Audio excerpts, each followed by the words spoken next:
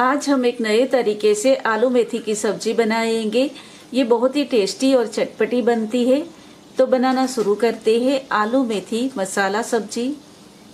एक बड़ी साइज़ का मेथी का बंच लिया है। इसके पत्ते निकाल दिए और पानी में 10 मिनट के लिए मेथी के पत्ते को भिगो के रखा था ताकि इसके ऊपर जमी हुई धूल मिट्टी निकल जाएगी।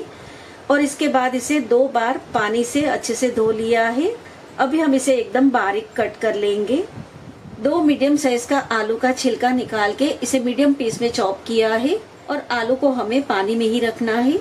मेथी के पत्ते को एकदम बारीक कट कर दिया है।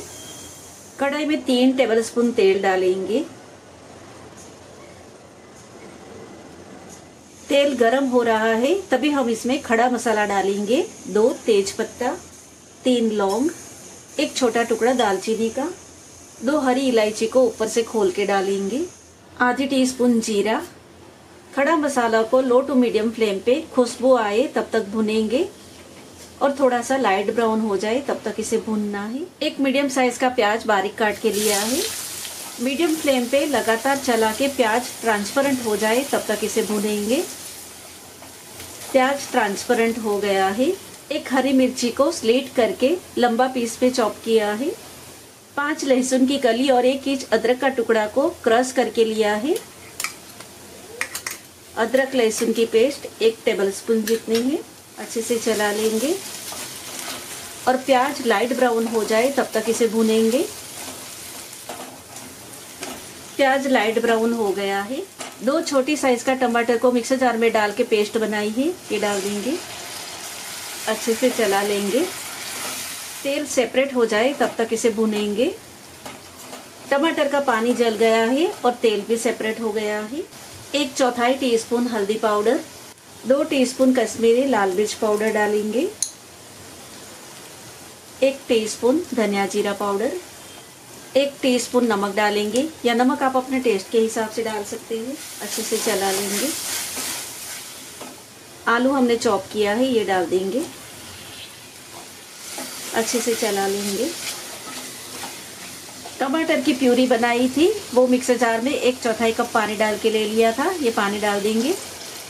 अच्छे से चला लेंगे। ढक्कन लगा के धीमी आँच पे आलू 75 से 80 परसेंट तक कुक हो जाए, तब तक इसे कुक करेंगे।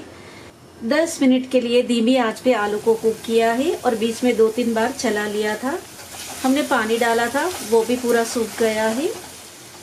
आलू थोड़े सॉफ्ट हो गए हैं, लेकिन अंदर से थोड़े से ये कच्चे हैं। यानी 80 परसेंट तक ये कुक हो गया है। मेथी डाल देंगे। अच्छे से चला लेंगे। दो मिनट धीमी आँच पे ढक्कन लगा के कुक करेंगे।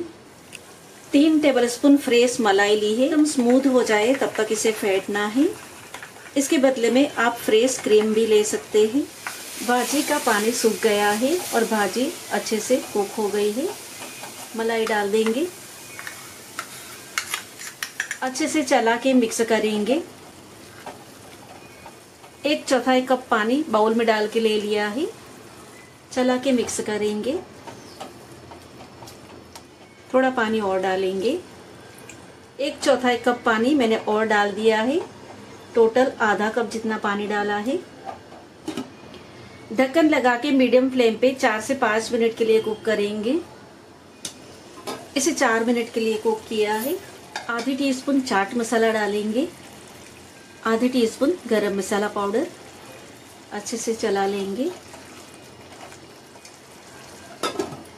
दो मिनट धीमी आँच पे कुक करेंगे। दो मिनट हो गई है। गैस ऑफ़ कर देंगे। इसे रोटी, चपाती, पराठा और दाल राइस के साथ सर्व कर सकते हैं।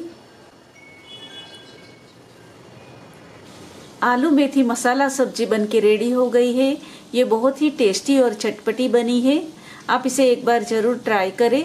रेसिपी आपको कैसी लगी है मुझे कमेंट बॉक्स में लेके ज़रूर बताइए। तो मिलते हैं अगले और एक नए वीडियो के साथ।